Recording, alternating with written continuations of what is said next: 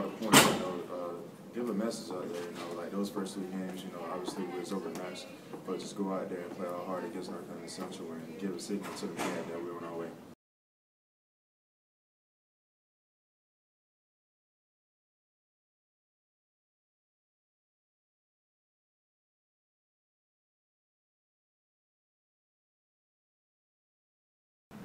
Savannah State University collected checks of 860,000 to help meet the athletic program's $5.1 million budget.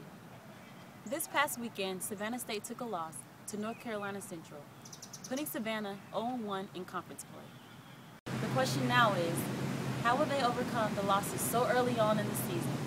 With seven games remaining, will they fall short of expectations?